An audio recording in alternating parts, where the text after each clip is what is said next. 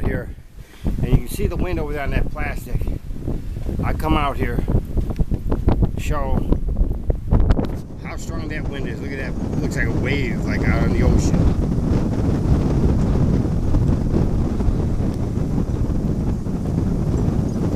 It took the plastic off of the tiller and that blue tote I have underneath the uh, the trowel, the line, whatever you want to call it, you know, that makes your line.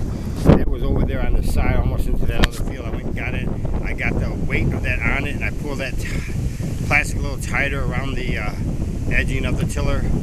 It still might go off because these winds out here are really nasty.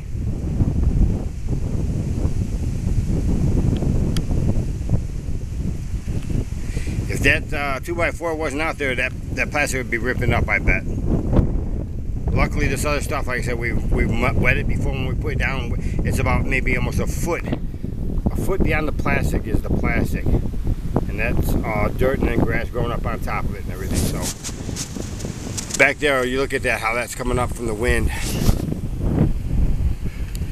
Uh, the back door just got ripped off. I had to do some work on it and fix it. So I come out on the front here just to show you this because I couldn't go out that back door right now. The alarm will be on and a very powerful round will be going through anybody who tries to mess with that back door. So, yeah, the wind out here is really, really nasty now. It blew another branch down. I threw it down into the ditch earlier. You can barely see it. The lights are flickering in the house too. So, where did it go? Right there.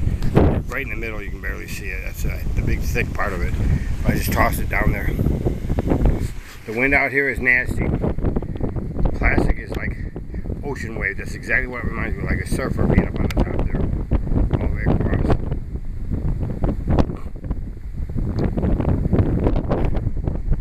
and it's supposed to get worse. So, I mean, I want, I, I think we'll wake up in the morning. That plastic may not be uh, buried like it is because last year or the year before, when we first got the plastic, we didn't have it buried good and all that. And it was ripping the plastic up out here. So that's why we're not going to mess with the plastic until uh, spring next year. And uh, till around the outer edge, pull it back, till it really good. If uh, my cousin ever brings the horse shit over here, that'd be a great thing. Uh, we'll till it in there and then put the uh, plastic back down and it'll be like extra heat. Because horse manure is supposed to be really hot and then we'll have the uh, plastic on top of that which that's about 10 degrees or more underneath it.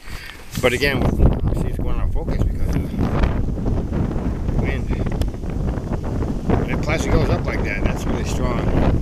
I almost want to take those chimes off of CJ's grave I'm afraid the wind's going to take off with them I think I taped around the edge really good with duct tape.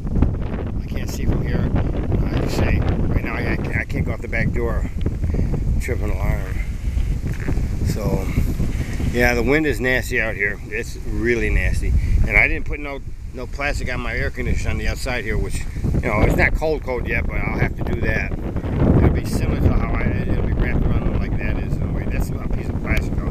That's that's part of this plastic that's on the garden the strip and I folded it up and taped it and in our job which is what I'm good for you know when you don't have any money you do whatever you can with whatever you got. But uh, I'll get a couple trash bags in the next few days. The rain is coming I can feel it I can hear it. And the temperatures are starting to drop too as a matter of fact. Woo! let me get this temperature and then I'm going in